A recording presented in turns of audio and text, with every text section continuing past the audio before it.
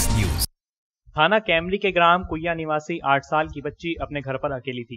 उसकी माँ घास लेने गई हुई थी, जबकि पिता दिल्ली में रिक्शा चलाकर मजदूरी करता है। पीड़ित बच्ची के मुताबिक वह आरोपी गुलफाम के भाई बहन के साथ खेल रही थी। थोड़ी देर बाद आरोपी उसे अपनी हवस का शिकार बनाने के लिए मोबाइल दिखाने के बहाने पीड़ित बच्ची को उसके ही घर पर ले गया और वहाँ ले जाकर बलात्कार करने की कोशिश की।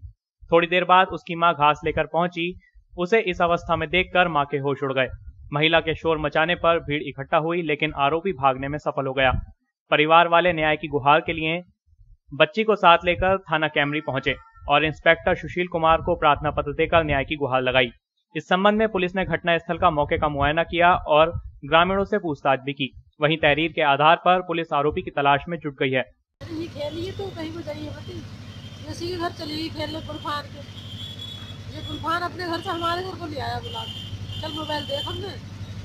इसने मोबाइल दिखाया उखाया होगा।